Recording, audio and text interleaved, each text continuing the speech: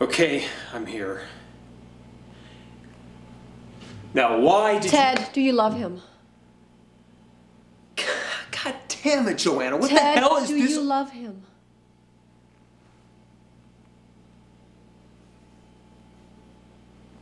I love him too. I guess I never knew how much until now.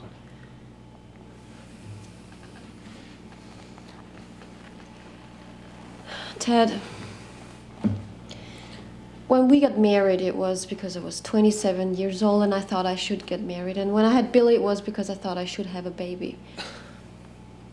But I guess all I did was mess up my life and Look, your Joanna, life. I don't give a damn please, about- Please don't stop me. This is the hardest thing I ever had to do.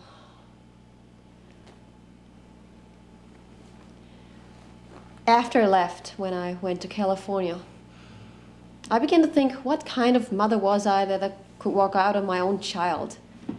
He got to where I couldn't tell anybody about Billy. I couldn't stand that look in their faces when I said he wasn't living with me. And finally, it seemed like the most important thing to come back here and to prove to Billy and to me and to the whole world how much I loved him. And I did. And I won. But I guess it was just another should.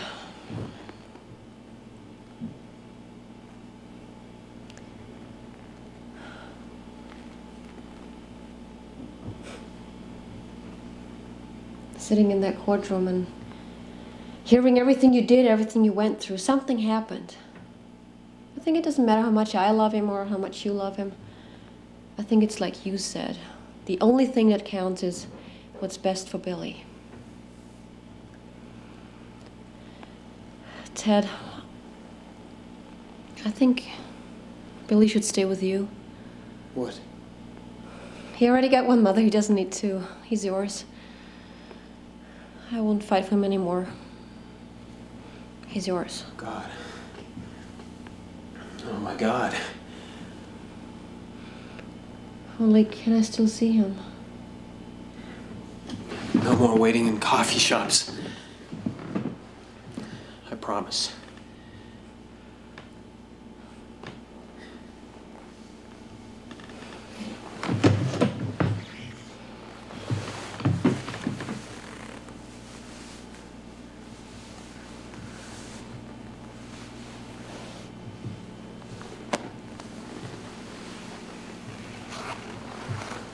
I guess I should talk to my son now.